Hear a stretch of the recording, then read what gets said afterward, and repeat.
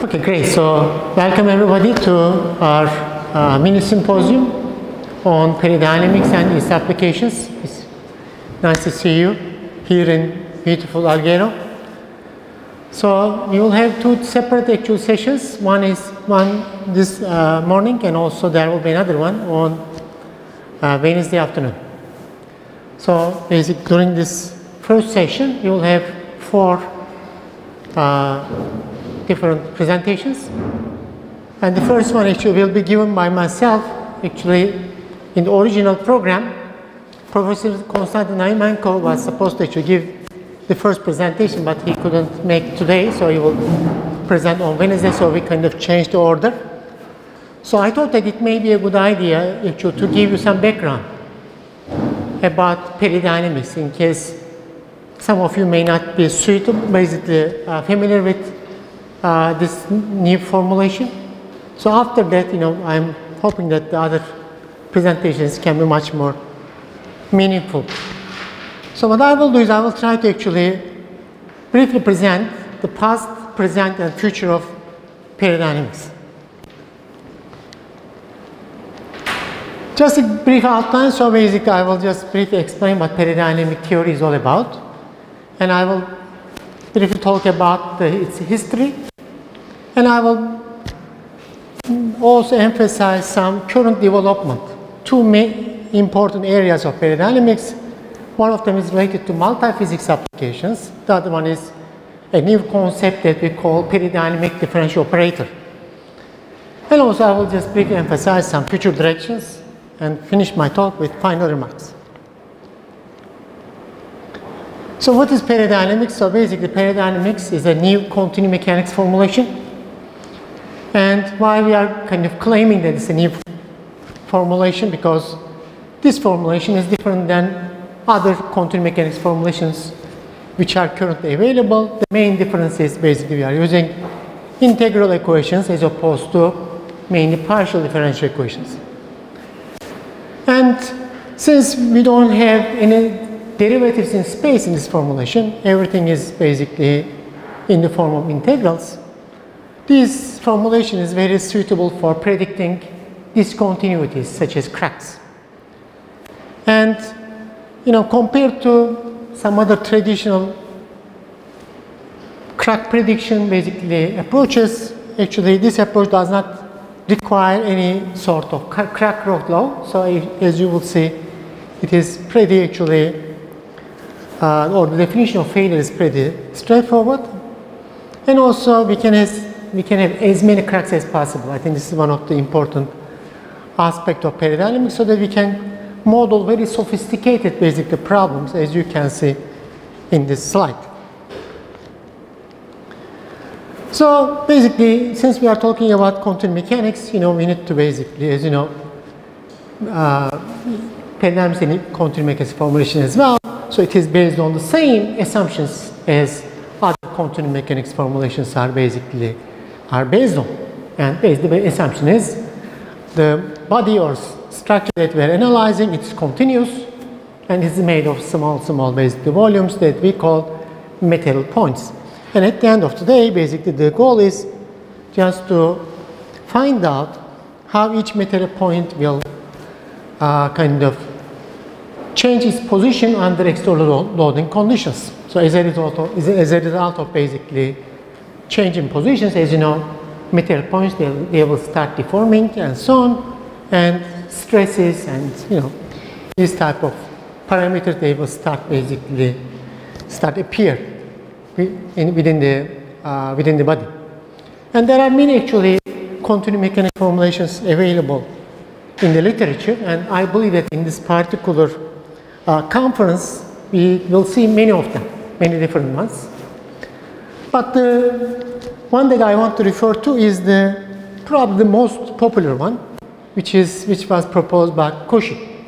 So basically, according to Cauchy's formulation, he just made an assumption that each material point is interacting with the material points in its nearest neighborhood. So there should be a contact basically between material points so that they can interact with each other. And he used this concept of traction vector to transfer information from one material point to another one. So basically this is the kind of the assumption that he has made in his formulation. And then he used basic physics laws starting from global balance of linear momentum and he introduced this new parameter that we usually use stress and he relate that stress parameter to the traction vector which as I said which is used to transfer information from one material point to another one.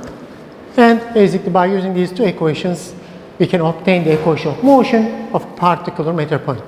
And this equation is very well known, you know, I believe that you guys are very much familiar with. Basically, we have on one side inertia term, and then on the other side, we have the derivative of the stress tensor and then body load.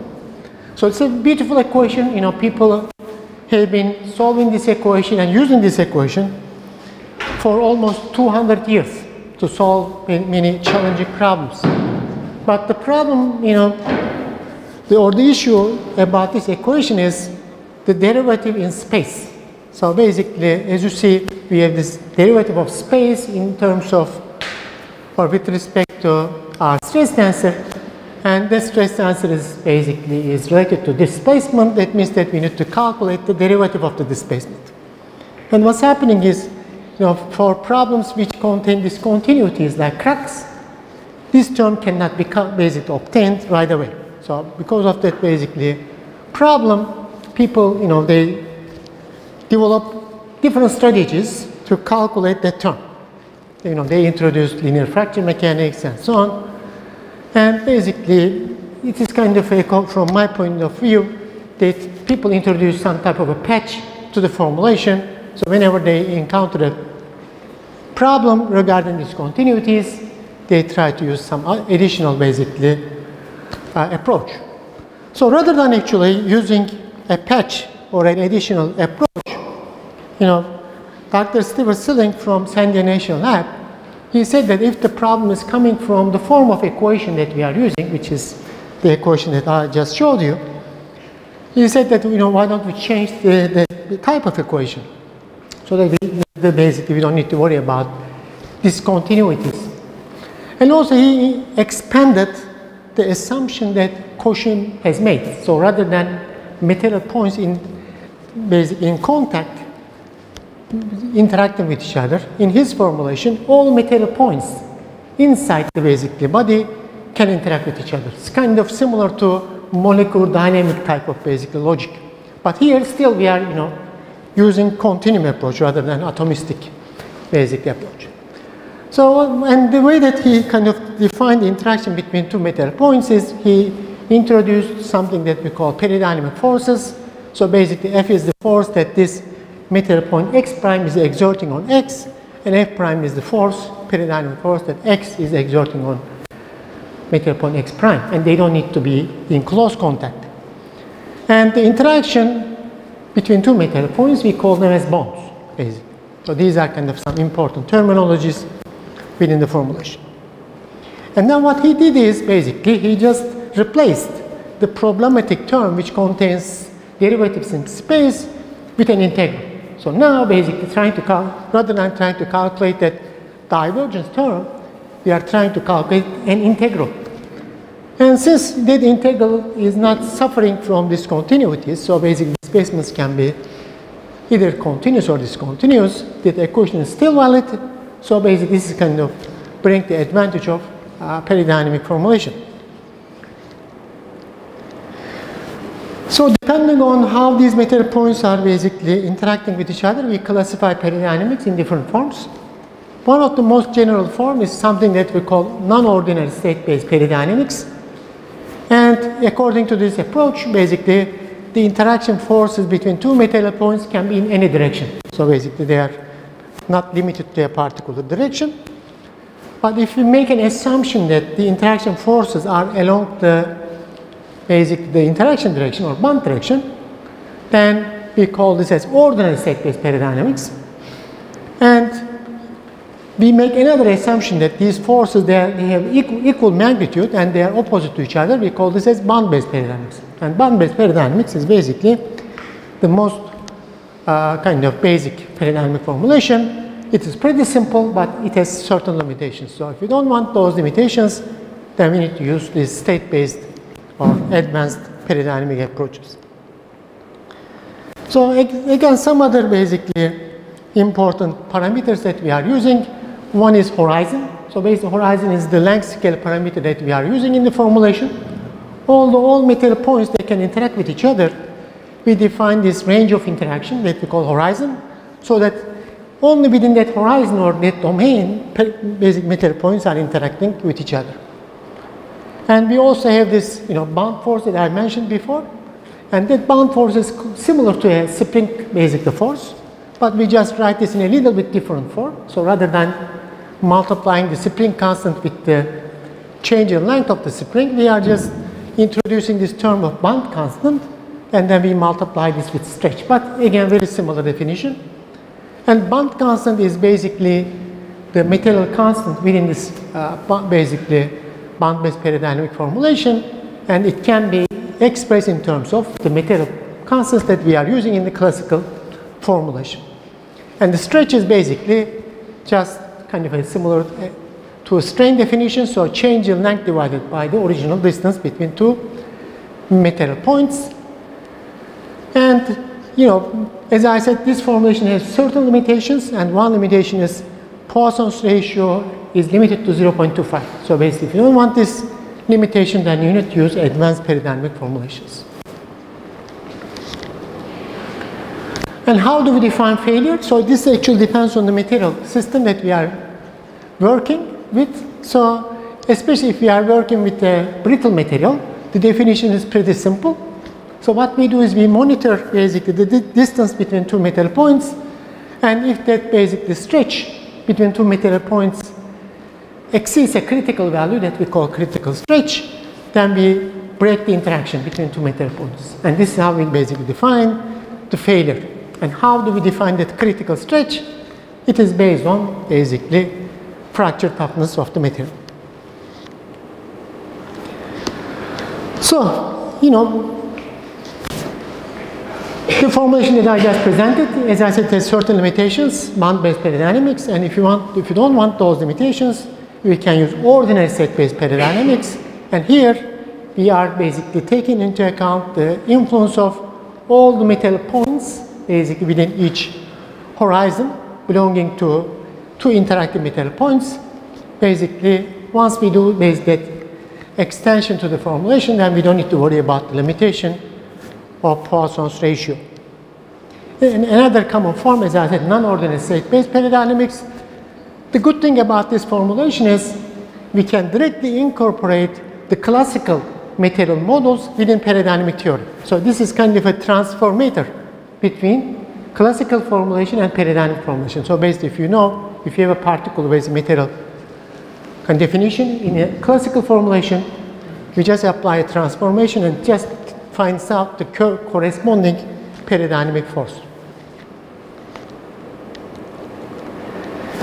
And how do we solve these equations? So basically, um, unfortunately, analytical solution of this integral differential equation is not very common.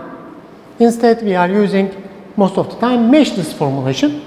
So what we do is basically in simple terms, we again discretize the system in small, small volumes and each volume is represented by a particle point, basically representing that, uh, that volume itself. And then each basically point has an horizon, and basically within that horizon, metal points are interacting with each other. So basically, in simple terms, we are using meshless approach to solve our equations in many cases. So after this introduction, basically uh, is there any commercial actual software currently available? Uh, the answer is basically uh, partially yes. Basically, in LS-DYNA, uh, they started actually implementing peridynamic formulation within their framework. But apart from LS-DYNA, this is the code that actually which was originated based on peridynamics, which is called EMU code. And this EMU is this you know funny bird basically and it was implemented at Sandia Nation Lab. And also, Sandia is another uh, open source software, which is called LAMMPS. This is a molecular dynamics software, but because of the similarity between molecular dynamics and also peridynamics, basically we can do a little, little trick that, you know, since the equations are kind of similar, we can still implement or perform peridynamic simulations as, as a molecular dynamic simulation. So basically you can use LAMMPS to perform peridynamic analysis. And also, if you are very comfortable with you know, commercial finite element software like ANSYS or Abaqus and so on, you can just cheat the software. So it's basically, there is a way to cheat the software in a way that we can first form nodes within the system representing our metal points and in between we can use truss elements or link elements by just considering the horizon so that we can try to represent the peridynamic equation as in the bottom form and then we once we use things like killing the elements and so on if you want to break a particle element we can represent basically failure so basically in simple terms actually you can although uh, implementation of peridynamics in commercial finite element software is limited, you can still basically implement, you make your implementation in that framework. And this is what actually what it will look like. So as you see one meter point there is interacting with many meter points inside this horizon. And since every point has many, many of these interactions, at the end you will see a network of elements basically, and they are connecting to the to many nodes. And now basically we can use peridynamics after making all these implementations to analyze very sophisticated basic fracture problems and you know people have been using peridynamics for the last more than 20 years now to analyze as I said very complex problems especially to predict failure. So just a little bit about history. So sometimes people are asking about where the name is coming from. Actually, it is coming from Greek language. So peri means horizon. So as I mentioned, horizon is an important parameter in the formulation. And dynamics is force, basically. It is kind of a combination of these two words. And the formulation was originated in 2000 by Dr. Stewart Silling. And this is the base. The first paper appeared in the literature. It's a very well cited paper. And as you see, the interest on peridynamics is, is basically exponential. So every year, actually, uh, the number of publications are increasing uh, significantly, in especially in different parts of, parts of the world. Um, for instance, United States and China, I think they are the uh, main countries focusing on peridynamic basically formulation or theory. And these are the two, actually first two PhD theses done on peridynamics. One of them was in 2005, completed by Marcus Zimmerman at MIT, and the other one was completed in 2007 by uh, Kaushik Dayal and basically uh, at Caltech. And um, probably around uh, maybe 15 years ago or so, Boeing was trying to develop this new airplane, Boeing 787, and at that time they used peridynamics in their basic design, design framework. So this really, this project helped significantly to improve the, the formulation. And this is again a very important paper of peridynamics, which was written by again Dr. Silling and Dr. Askari it's a very fundamental paper, so if you would like to actually learn more about peridynamics, this is a very good paper to start with. And another, you know, I was talking about the state concept, and that state concept was introduced to remove the limitations of peridynamics or original peridynamic bond-based formulation. And this paper was introduced in 2007. And basically, from my perspective, since I have been involved in development of peridynamics almost from the beginning, and I believe that peridynamics went through all these three stages of truth. So basically, as you know, from Schopenhauer, he was saying that all truth passes through three stages. First, it is ridiculated, The second is it is violently opposed. Third, it is accepted as being self-evident. So in the early days, people are finding that this is like ridiculous, it doesn't make sense, and so on. And then after some time, people start taking very seriously. They attacked actually against peridynamics by saying that it is wrong and this and that. And but now they start accepting the theory, but they are saying that actually there's nothing new in here. So basically, people are saying that uh, this, whatever this peridynamics, the idea is not new. There are actually similar formulations available in the literature. So one of them is actually Navier's formulation. So if you look at actually Navier's original 1821 publication, you can see that his formulation, the way that he was describing, is very similar to bond-based peridynamic formulation. So it was very interesting that at that time, he, his basic his approach was uh, in similar lines to, to peridynamics. But unfortunately, he didn't have a computer. And what he did is he started with an integral formulation and he converted integral formulation to a partial differential equation because I believe that he couldn't solve those with the integral formulation. And later on, of course, as my friend Francesco and Luca, you know, they published several work of Piola. Again, you know, they show that formulation is again very similar to uh, peridynamic formulation. So basically, if you are wondering about the details of that basic discussion, so please refer to their publications. And also in 1967, Kroner basically introduced this non-local concept. And as you see, basically, his formulation is, again, very similar formulation to peridynamics. You know, there is both kind of a combination of a classical term and a very similar definition of basically interaction between metal points. Again, this is, I think, a very similar formulation to peridynamics. And also Rogula introduced uh, his approach. Again, if you look at you know his equation of motion, you can see that it is also very similar definition. So basically, are not saying that you know peridynamics is totally different with respect to other existing approaches. There are many similarities, but also at the same time there are some differences between different formulations. And for the last basically 20 years or so, uh, there are actually many publications appeared in the literature. Uh, the first book was actually appeared in 2014 by myself and also uh, Professor Madenci from University of Arizona. And after that, basically, there are some other uh, books which are currently available in the literature. And even the form is the one, the, the first book was trans translated to Chinese, since there is a significant interest basically in China about peridynamics.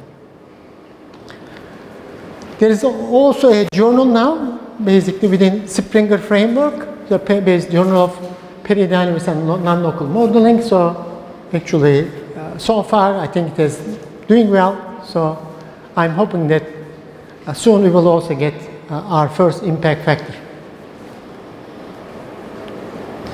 There is also basically a uh, website available for people who are interested in peridynamics. So it's www.peridynamics.org. And basically in this website, we are just trying to share some information about beginners and also trying to bring community, community together. And also in 2019, we introduced the first center Peridynamics Center focusing mainly on peridynamics research at the University of Strathclyde. So now basically in this center, many researchers are basically focusing on uh, many different areas of peridynamics. So with this basically information about the past or history of peridynamics, let me just briefly talk about what's currently happening. One important area is multi-physics applications of peridynamics. So like finite element formulation, the original basic, the focus of peridynamics was just purely mechanical analysis or, or structural analysis. But as you know, you know, depending on the problem, we may need to couple different fields. So basically, we need to solve the multi-physics problems, which we we experience in different fields, for example, oil and gas, aerospace industry, and so on. So basically, to formulate the problem, we need to couple for example, mechanical field with a thermal field and so on.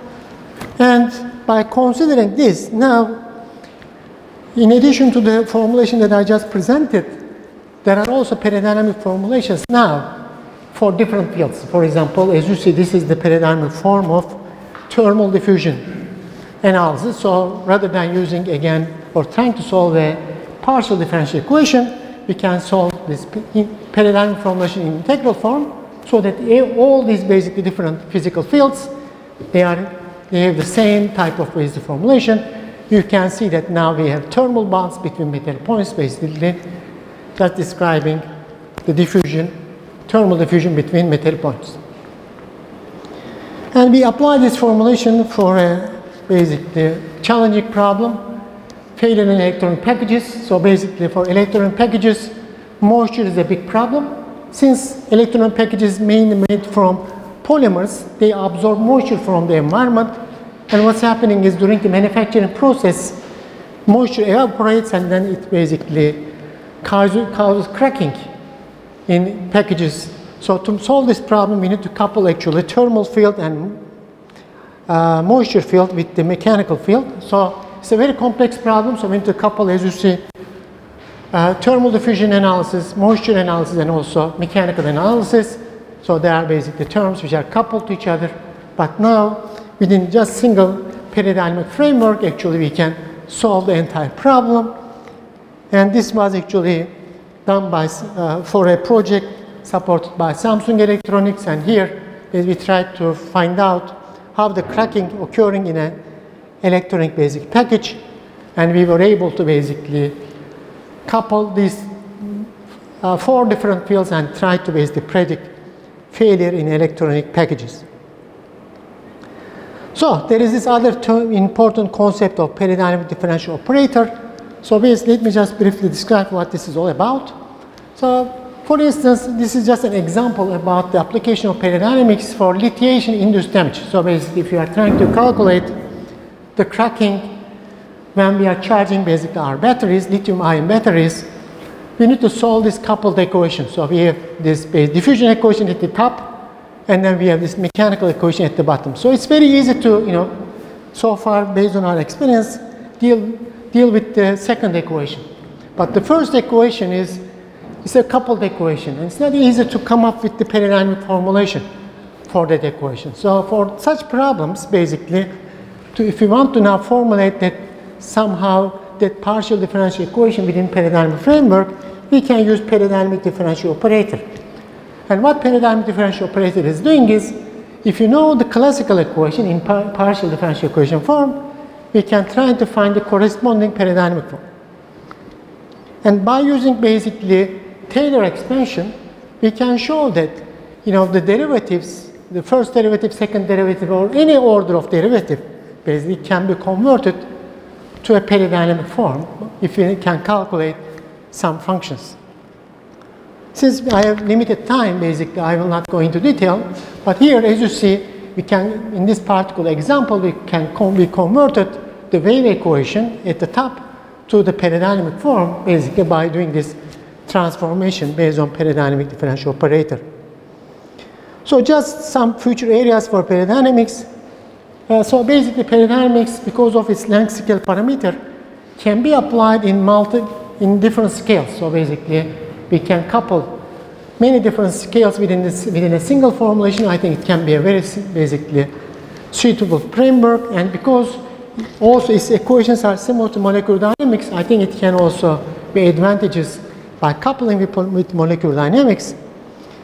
And also now additive manufacturing is very important. So basically peridynamics can be very suitable for material design and additive manufacturing basic applications and also artificial intelligence. So basically, there are already some papers available in the literature where we kind of couple peridynamics and also machine learning. This is also a pretty good area that you can we can look at. So as a final remarks, is peridynamics is an alternative formulation for computation modeling of future problems. And also, it is not limited to structural mechanics, but also it can be applied to many different fields.